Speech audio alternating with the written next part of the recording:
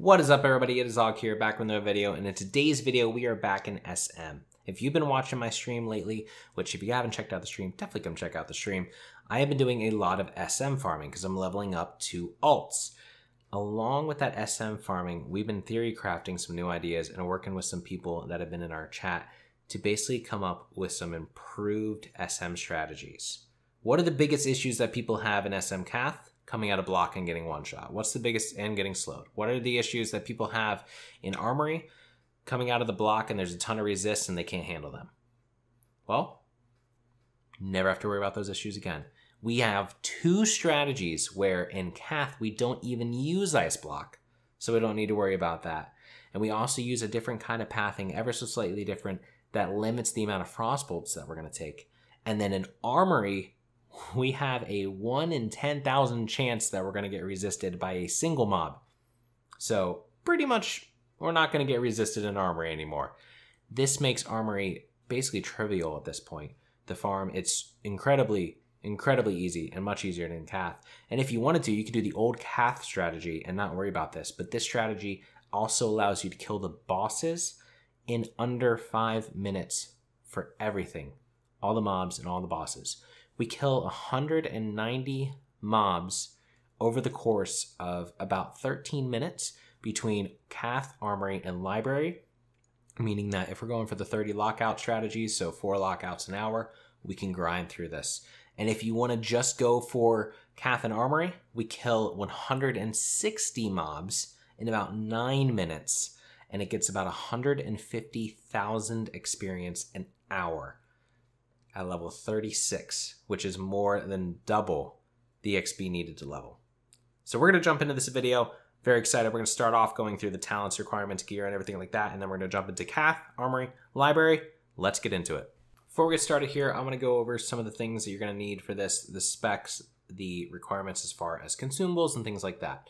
I would highly recommend having engineering. Engineering for iron grenades, gyro freeze ice reflector, are incredibly helpful. As you can see, it basically reflects all frost spells for five seconds, which is going to be really nice in Cathedral, but it's not necessary.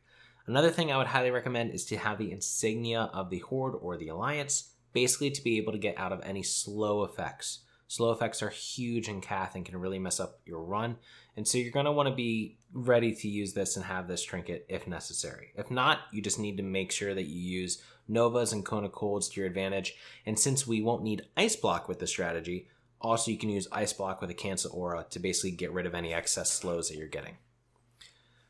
After that, I would get a couple pieces of Frost Resist gear. I wouldn't worry about the Fire Resist for SM Armory because it's not a big deal, but Cathedral with the slow, you want to get some Frost Resist. So I get two Frost Resist rings. I fortunately got this really early on into the expansion, so they're cheap but they might be a little bit more expensive for you. So you can go ahead and you can go over.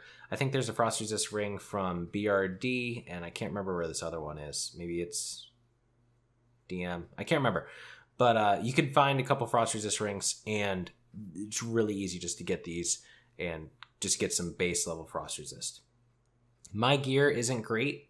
It's not bad, but it's basically some welfare pieces out of uh, MC and then just some blues and greens I got off the auction house. So you guys can use pretty much any blues and greens as long as it has intellect and stamina. You just want to have as much intellect and stamina, and that goes with most all farms that we're going to be doing, as much of it as possible. Then lastly, here's the spec. This is the spec that I would recommend for this farm. That being said, there's also the comprehensive spec that you can use, and I'll have that linked down below in the description as well. But basically, we go through the Frost Tree, we skip over Frostbite, Winter's Chill. We do not need Elemental Precision because the mobs are such a low level. That frees up a couple points for us to go over into Arcane and make sure that we can get obviously 5 out of 5 Magic Absorption, get Arcane Resilience, and get some Arcane Concentration as well. Comprehensive spec, if you want to go for it, this works for SM, ZG, Mara, and then obviously all the other lower ones as well, but it's not specifically tuned to any individual instance. So it's great, but it might not provide you the complete benefits that another spec would farm would provide. Rest of the things I would recommend, I would definitely recommend some heavy rune cloth bandages in case you need to bandage, some major healing potions because those could be really nice, some lips, limited invulnerability potion just in case of a last minute oh crap kind of moment, and then maybe some free action potions if you decide to go that route with the strategy, which I'll talk about a little bit when we get started, and then the iron grenades if you're an engineer. After that, you're pretty much good to go and ready to rock and roll. All right, so here we are in SM. We do have two boosty toons with us, Arlaeus Mage and Augmun. Arlaeus Mage is 35 and 70%. Augmun is 18% into 36. They have about 1% to 2% rested XP just from sitting outside the instance last night, but it's going to be nothing compared to the XP that we're going to get. And so it's going to play a very, very little role. So you come into SM Cath, just like always, we're going to take out the first mob here. Basically, if the toons are less than 31, I think they automatically aggro him just from proximity. So you just want to take him out real quick, just get used to doing it in case you have a lower level toon. From here, though, we are ready to go. And so we're going to get buffed up, get water made, and then start with the pool. All right, here we go. So I'm to start the stopwatch. I want to make this as comprehensive as possible. So I'm to be breaking down the individual little things you're going to want to do throughout the run so that you guys know exactly what to do and that way you don't need to jump around to a bunch of different videos. So we pull those first two mobs, drag them to the any instance, and then we know about all the mobs. The idea there is that we want to aggro those mobs so they aggro some of the mobs while we're running forward here, but we want a head start. We don't want all the mobs to be right on top of us because we do have to go and open up this cathedral door. From here, we just run up to the cathedral door.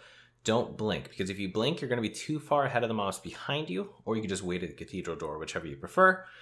But you don't want to get too far ahead of the mobs because if you get too far ahead of the mobs, they aren't going to be kind of in the right amount of distance to get a Nova in a little bit. Come to the cathedral, run right through the middle, then veer off to the right. Typically, you won't aggro that guy, but I aggroed him on accident. Get into counterspell range and counterspell. You'll see that the majority of the mobs are skipping you. So hopefully you didn't aggro too many mobs just aggroing the boss, but the majority of the mobs skip you and run straight to help the boss.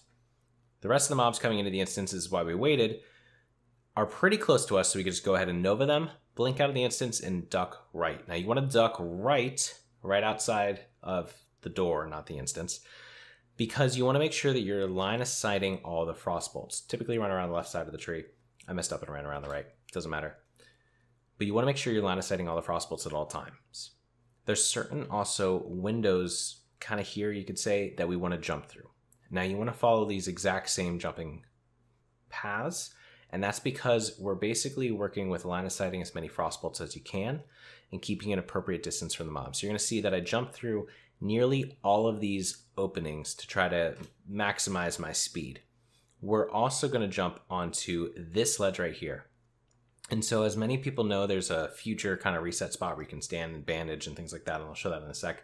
This is actually also a reset spot. So if the run is ever going horrible, this is a reset spot you can use. Basically, just stand up on that ledge. The mobs will reset in 10 seconds, or you could bandage or evocate or whatever you need to do. Hopefully, this early in the run, you won't need to jump. This corner, however, you do not want to jump through. Basically, the mobs are right here, right behind us, and they're in a perfect kind of distance where they're not going to get off a ton of frost bolts and things like that. But if we jump through this window, they're going to be able to hit us with frost bolts. They're also going to cut the corners, and it's going to be bad. You want to force them into this pathway. So you actually run around this bottom right perimeter and then blink up the pathway immediately. This is going to keep the mobs pretty far behind you. A lot of them are going to be stuck in the corridor and it's going to get you some extra little space. And you can see here that we only get hit with one frostbolt. That's kind of a dangerous spot right there too. From here, we jump up through the window, we blink, and then we turn around while running forward. So if you guys didn't see the most recent video on basically just general tips for AoEing, it's kind of how to set up your camera and everything so we can do that. So we just continue running forward while looking behind us, and we place a rank 1 blizzard. This rank 1 blizzard is basically just going to slow down the mobs, allow them to kind of coalesce a little bit more and group up, and then we jump outside the window. Because we did that blizzard, a lot of the mages actually went into that corner, so you can see we're getting a lot less frost bolts than normal. Veer left, and we're going to blink across. Now here's where you can pop your Gyro Freeze Ice Reflector. I did not do it because for the purpose of the video, I wanted to make it so that everybody could do this farm. But if you are an engineer, definitely pop your Gyro Freeze Ice Reflector here, and it's going to help a ton. But then you actually run up onto this ledge and you jump off right next to this lion statue. Now the reason for this is that the rest of the mobs are running up here. They're going to follow you up to the top here, and then they're going to have to backtrack to try to get down to you on the ledge. So you're going to notice that I don't even use Ice Block anymore. But what I actually do is get them into the perfect blizzard spots just from jumping off that ledge. Now we're not worrying about taking damage from the ice block, and the bigger benefit is Mograine right here can stun. And so if Mograine stuns you, coming out of the ice block, you're pretty much dead. The other alternative is to pop a free action potion before going into the ice block. And then with the free action potion on, you can't get stunned, so you know that you're going to be safe coming out of the ice block. Just costs a little bit more, probably a little bit easier when you're first getting started, so you can use that strategy, but this works pretty well. The idea here is that we're jumping back and forth every single time Mograine gets to us, because we don't want to run the risk of getting stunned.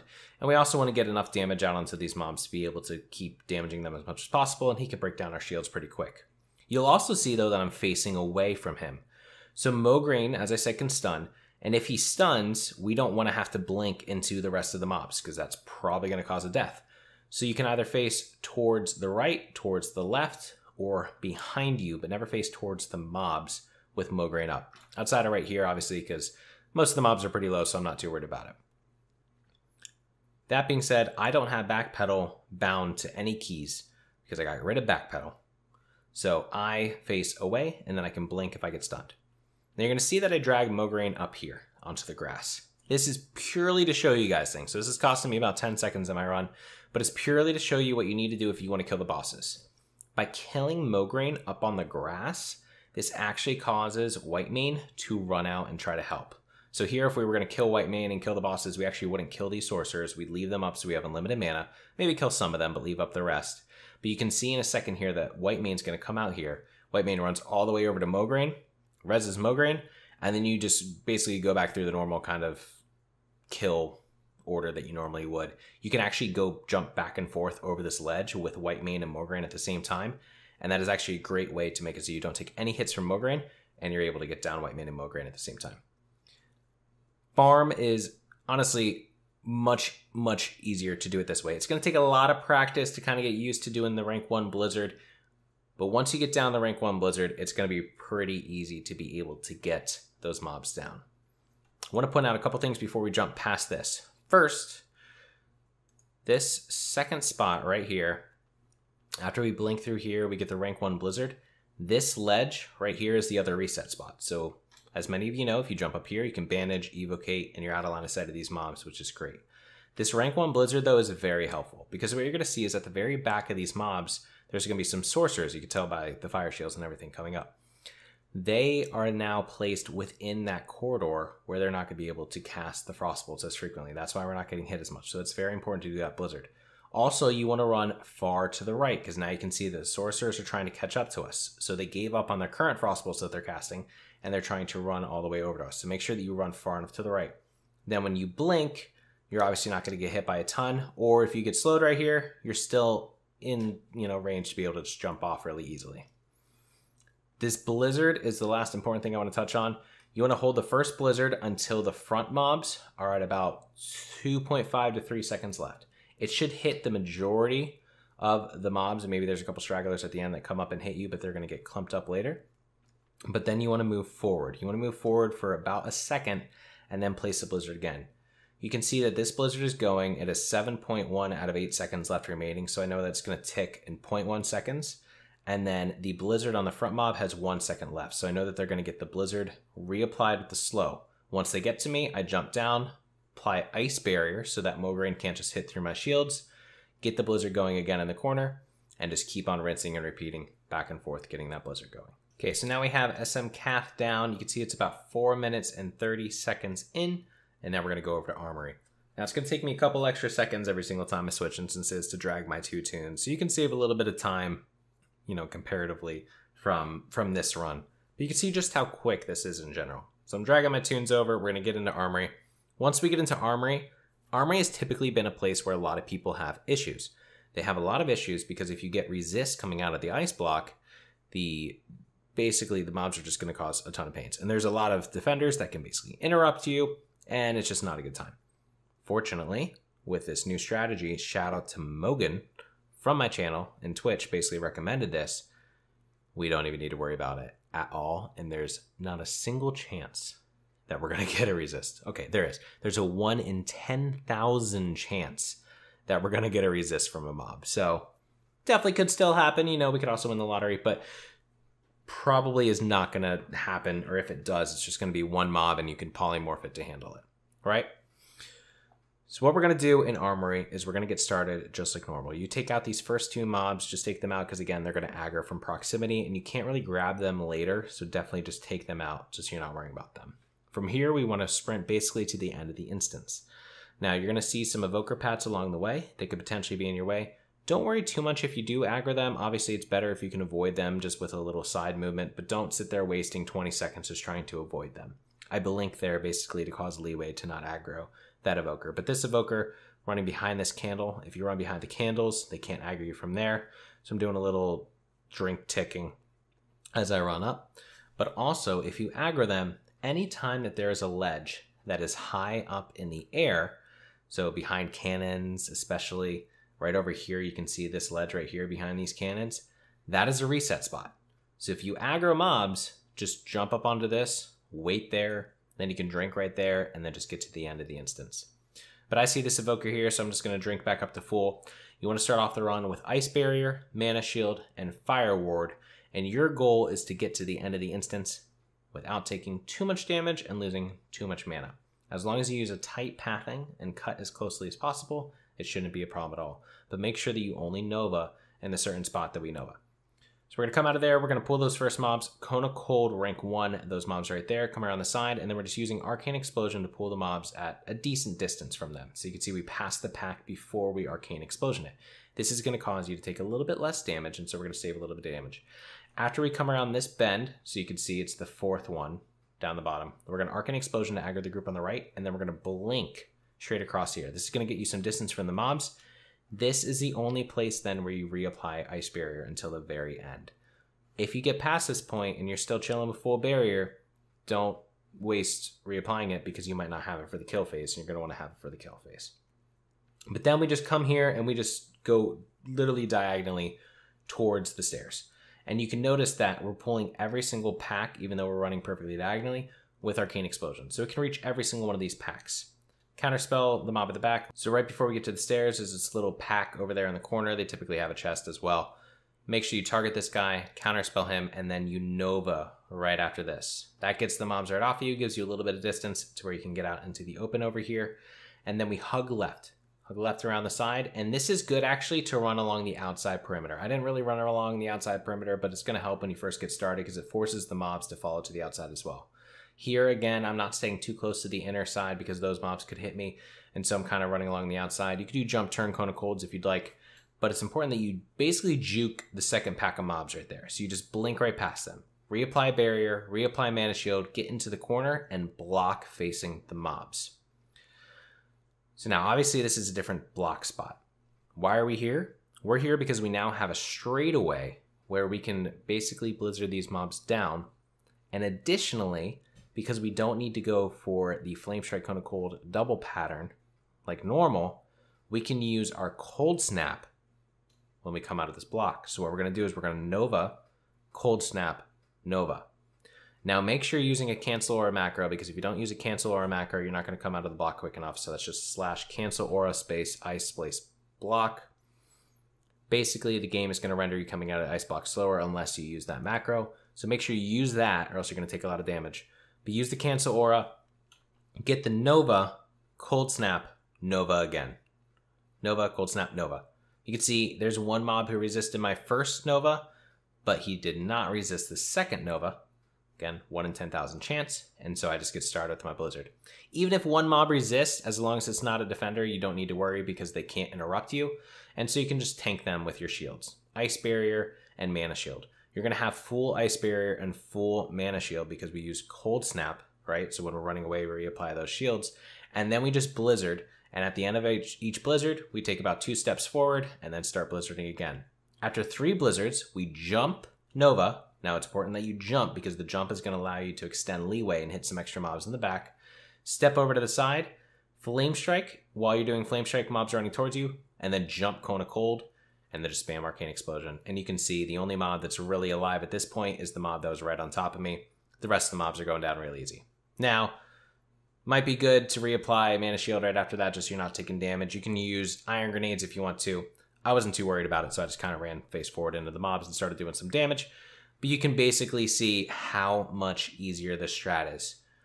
You don't have a chance to resist because you're using the Cold Snap. for the Nova. So you're getting two Novas. So you have a 1 in 100 times 1 in 100, so 1 in 10,000 chance of a resist. And you have three Blizzards that are basically lasting the full duration, doing a ton of damage to these mobs, so that you're able to go ahead and keep on cruising. You can see here 9 minutes 25 seconds. We have both of these runs down. If you just want to do Cath and Armory, it's 162 mobs on average. And you can see here 150,000 experience per hour this session. 150,000 experience per hour. I need about 70,000 experience per level, 71,600. So it is less than 30 minutes a level with this strategy in the mid 30s. This is insane, guys. Don't go to Mara early. Don't go to Mara at 30. Stay here until you're at least 38. Then you can go do the Mara big pools. You can see here 150,000 experience per hour. It probably 160 based on how it's decreasing right now after we actually killed the mobs. Rinse and repeat that five times every hour if you want. Tons of experience. Very, very safe. Low chance of dying. If you're going to die, it's going to be in Cath. And so if you feel more comfortable using a free action potion, use a free action potion. But if you're going for the 30 lockouts, now you have an extra couple minutes, right? Because we can basically reset every 15 minutes if we want to do four per hour to get to avoid lockout, but maximizing our XP. So we can go over to library. Again, same kind of thing. It's taking me a couple extra seconds because I'm dragging toons with me, but we can go over to library and we can pull these first packs. Now, I will say that I got the worst RNG in library I think I've ever had in my entire life. And if you've been watching the streams, I haven't died in library, period. But I want to show you what happens here. And I left in this clip because it's just hysterical what happens. And so I want to show you. But to start off the library pool, we're going to pull that first pack with the wand then blink down the hallway. Now, there is a pack of dog plus houndmaster. It's important that you pick them up because you don't want them to be straggling later on. So make sure that you face pull them, or you can pull them with a fire blast or something like that, and then blink down the hallway. We then go grab one of Houndmaster Loksey's dogs. You just run near it. You might have to jump if you're a gnome, or probably probably just a gnome just to be able to reach over kind of like the ledge that's inside the boss's room to pull them, but you can counterspell this guy, and you can see here I get stunned. So here's the risk of these mobs. The Gallants have basically Hammer Justice, which can stun you. It's a 1% chance to happen, but for some reason, it happened to me a ton. You can see I get stunned again. and I'm just like, what? but I live here, I get the Cone of Cold going, and this is not going to be pretty. It's not gonna be pretty. But basically, you take a wide route, you go into this room. You're basically trying to get all these mobs just stacked up into this room. So typically, you just wait in this room, hang out here. Once all the mobs come in, you get the Nova. You make sure you're facing out of this door so you can blink if you need to. And I got stunned in the worst possible spot, right as I was about to Nova, and I died. So we got back into the run and we were just getting ready to go. But you can see the timer I stopped it at 11 minutes and 21 seconds. And I'm going to have a separate kind of library clip just to show you how long the library run would take. But it's about three minutes. And so if you add that on to the 9 minutes 20 seconds, we're looking at about 13 minute clears without Zanza pots and not killing bosses. If you want to kill the Cath bosses, you're looking anywhere between 15 minutes a run to 17 minutes a run. And so you can see that you can easily do for an hour, hit the lockouts on an hourly basis, and maximize your XP. But same kind of thing here. We're going in, we target one of the dogs, aggro them, jump over the ledge. And I still have bad RNG. I'm pretty sure that the patch yesterday that lasted about six hours was actually basically just to change the RNG so that as a 60 you could get stunned by mobs because look at this I'm still getting stunned. I if you've been watching the stream the past several days while I've been doing it look at this another stun. I haven't been getting stunned at all. Yet here I'm just getting stunned constantly. So, as you can see, get out of there fine because it was only a couple stuns. And now we're working towards our kill phase. Now, typically you'd want to have up ice barrier, but obviously I got stunned in a bad place, so I lost my ice barrier. But you come over into this corner, reapply any shields you do have, and right when the first mob's going to get to you, you go for the block. So we now have the first three rooms of mobs coming towards us. When the last mob gets to us, we cancel aura, step away, Nova. So cancel aura, Nova, and step away. If one mob resists, you sheep it. If two mobs resist, you can tank one, it's fine. But then we get to maximum distance and we get the max rank blizzard going. So here you can see we're taking them down. because they are a lower level than the other instances, they actually die a lot easier. And so three blizzards is going to cause them all to run. And so if you want, you can go ahead and use an iron grenade on them, basically just to keep them grouped so they don't go too all over the place. But of course I get stunned. And so when I go for the Nova, it breaks them out and then I take a little bit of damage. But you don't even need to do that. If you just want to go for the Nova and then of Cold, that is perfectly fine as well. You do not need engineering for this part at all. Make sure you take out Houndmaster Loksey though, because he actually does do a good amount of damage to you. rest of the mobs aren't too bad. He can be Nova'd though, so shatter combos are a big thing to be able to take him out. But like I said, this takes about three minutes. And so I'll show you a sped up kind of library clip where we're basically going through the same thing. Again, bad RNG, but we're able to get it down in about three minutes. Overall, the entire thing taking about 15 minutes, and even with my death that I had, so even with a death and a run back, so obviously taking a lot more than 15 minutes, my hunter still averaged over 100,000 experience per hour, unrested. So as I said, I ran right back into Armory, did the same exact kind of pull. So we'll skip to towards the kill phase. So I'm coming back out, aggro up all the mobs. You can see I did take a lot of damage. I did get no, stunned a bunch of different times. Again, crazy RNG, but I get my full ice barrier, full mana shield, so I'm, I'm sitting pretty well going into the block. Except for the fact that I realize I don't have block and I don't have cold snap because I just ran right back into the instance after recording the first part, and this was where I kind of had to improvise a little bit. So I immediately started running away. I was like, all right, well, I'll get the Iron Grenade going behind me just to get them grouped up, and then as the last mobs get there, I'm going to drop down my Nova. 30% health, so fortunately you can see the Ice Barrier does tank a lot in Library because the mobs are a decently low level, and then I'm able to get the Blizzard started. However, they are casting holy spells on me, which break through the the well, I don't have ice barrier. So basically it's avoiding my mana shield because it's a holy spell. And so I constantly am getting interrupted. However, we're able to get enough damage going on these mobs where I can basically get the mobs low enough. I go for four blizzards instead of three, just because I am at 19% health and I don't want to risk getting too low. But now I'm focusing on getting down the mobs. Mana shield is is done. It gets tapped, and so I reapply it again. Get the Nova, get the of Cold. Fortunately, I don't get stunned right there, else that probably could have been the end. Get down to 4%, reapply my everything uh, with a Cold Snap and a Ice Barrier Nova, and then focus on getting down Houndmaster Loksey, as I said before, because he does the most damage. Take him out, and you can see that we were able to get through the entire library in about 2 minutes and 18 seconds. Now, obviously, if it was a little bit cleaner, probably could have been a little bit faster, but that's plenty fast for me. And you can see that we could do all three runs in well under 15 minutes per set. Alright everyone, that wraps up today's video. I hope you all enjoyed it, and if you did, please subscribe and leave a like and a comment below to let me know so. And if you guys have any other ideas for any other videos, please let me know in the comments below. Also check out the description for the Twitch where I do all this live, and also for my Twitter and Discord where you guys can be notified of any future updates and when I'm going to go live on stream. So I'll see you guys in the next video.